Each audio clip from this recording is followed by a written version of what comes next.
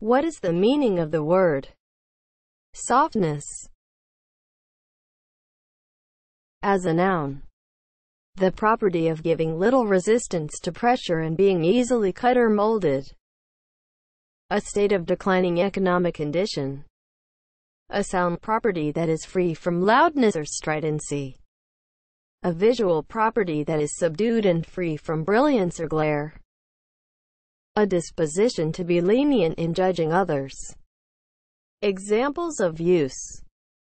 Orders have recently picked up after a period of extreme softness. He attributes the disappointing results to softness in the economy and in softness almost beyond hearing. Softness is spelled S O F T N E S S. Softness